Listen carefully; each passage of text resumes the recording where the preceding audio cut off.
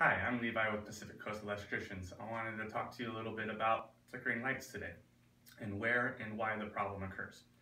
So most places that they occur in will be either at your switch box or at your light fixture or in the worst case scenario it's going to be back at your panel.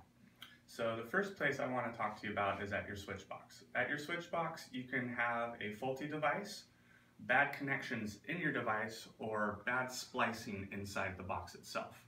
Also, another location that you'll find this in is at your light fixture.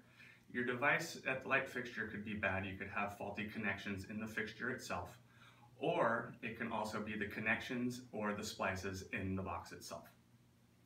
Thirdly, the place that you would want to go to look for would be in your panel.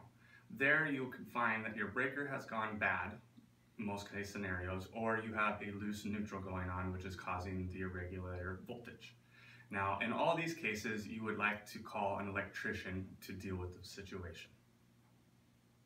Here at Pacific Coast Electricians, this is something that we deal with all the time, and our ladies here at the dispatch office will get somebody out to you as soon as possible.